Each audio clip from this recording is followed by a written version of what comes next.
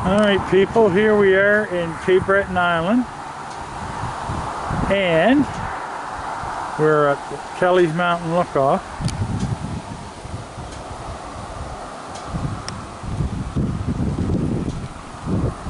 And it's windy up here. We just come across this bridge Seal Island Bridge.